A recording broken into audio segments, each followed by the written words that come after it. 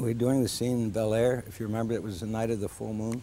And he had been lighting for an hour, which was a long time for Orson. And they had me up on the roof of some building or house. And he had been up there before and gotten down, and Orson's a very big man. I was afraid to tell him what I saw. And he said, Tell me, Cameron, tell me what it is. Well, it's the moon. He said, What? Where? And somebody helped him, maybe five people, get up there. And he took a look, came up, took a look. We shot the whole sequence there by the light of the moon.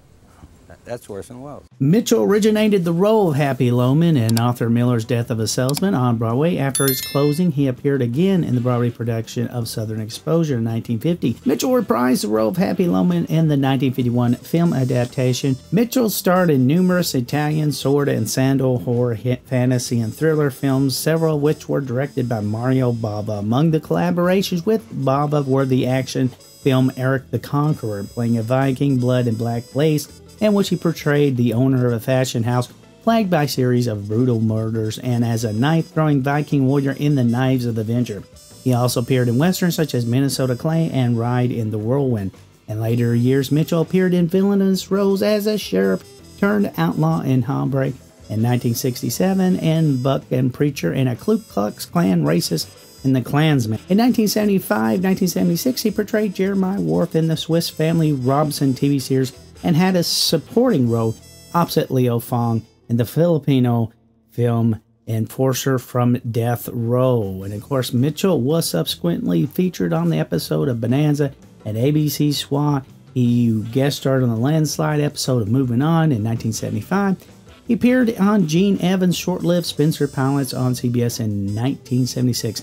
Mitchell also had a role in horror films and many exploitation films such as The Toolbox Murders, this creature featured The Swarm, the slasher film The Demon, the slasher film Silent Scream. He appeared again on Broadway in 1978 production of The November People, and the same year starred as Henry Gordon in the television miniseries adaptation of Black Beauty. Of course, late in his career, Mitchell played a gangster for laughs in My Favorite Year and a police detective in 1983 film Dixie Ray, Hollywood Star. He had a supporting role as the anthology horror films Night Train to Terror and From Whisper to Scream, as well as roles portraying right wing General Edwin A. Walker in Prince Jack, and as a Captain Alex Jansen in Space Mutiny, a 1988 South African fiction film that appeared as an experiment in episode 820 of Mystery Science Theater 3000.